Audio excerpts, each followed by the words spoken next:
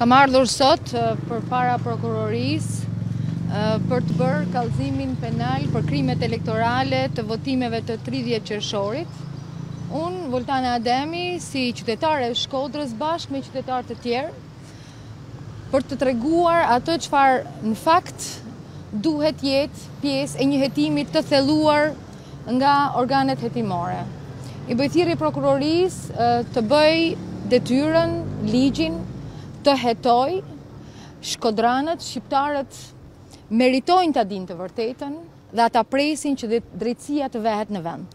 Prandaj, me dorëzimin e kësaj dosjeje, dua të shpresoj dhe të besoj që organet hetimore do të vijojnë punën pikërisht bazuar në fakte dhe reale, të cilat janë parashtruar në kallëzimin penal të paraqitur sot nga ana ime. Çka përmban dosja?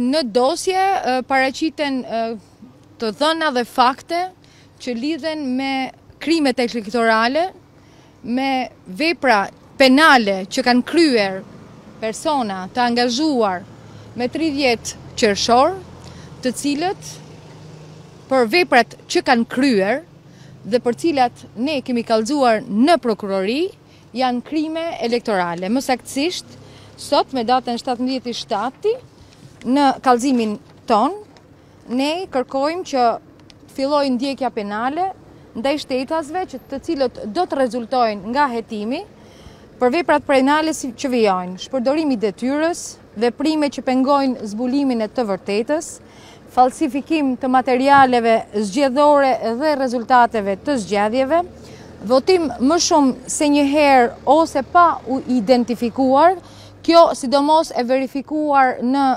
njësitë administrative në Shkodër, korrupsion pasiv në zgjedhje, braktisje e detyrës nga anëtarët e komisioneve të zgjedhjeve, marrja dhe përdorimi i paligjshëm i dokumentave të identifikimit dhe shpërdorim i autoritetit policor. Kuptohet që prokuroria duke hetuar mund të shohë edhe vepra të tjera, por nga faktet që ne kemi parashtruar, kemi verifikuar dhe në kallëzimin tonë kemi parashtruar këto kërkesa. Zonja Ademi, në Pukë dhe në Vau-Dejës pretendimet e Partisë Demokratike u hodhën poshtë nga gjykata dhe u dha mandati dy kandidatëve fitues. Çfarë do të... nëse diçka e tillë ndodh dhe në Shkodër, cili do të jetë veprimi rrasë. Unë sot jam në prokurorinë e rrethit gjyqësor Shkodër.